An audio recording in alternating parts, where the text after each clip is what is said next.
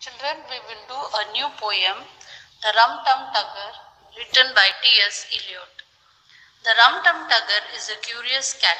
If you offer him pheasant, he would rather have grouse. If you put him in a house, he would much prefer a flat. If you put him in a flat, then he'd rather have a house. If you set him on a mouse, then he only wants a rat. If you set him on a rat, then he'd rather chase a mouse.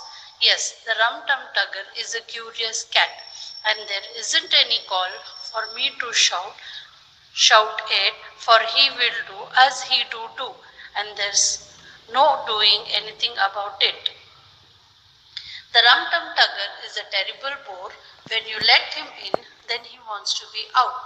He is always on the wrong side of every door, and as soon as he is at home, then he'd like to get about. He likes to lie in the bureau drawer, he, but he makes such a fuss if he can't get out.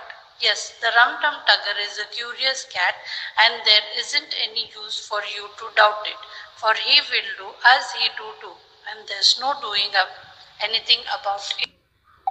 The rum tum tugger is a curious beast. His disobliging ways are a matter of habit. If you offer him fish, then he always wants a feast.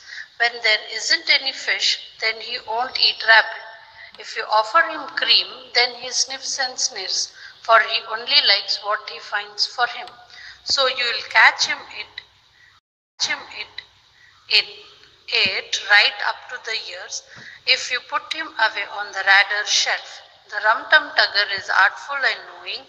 The rum tum tugger doesn't care for a cuddle, but he'll leap on your lap in the middle of your swing.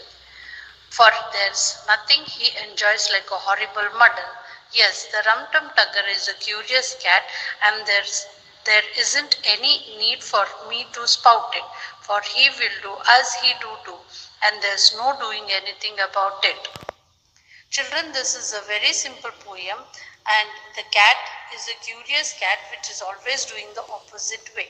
So enjoy the poem and memorize the first para.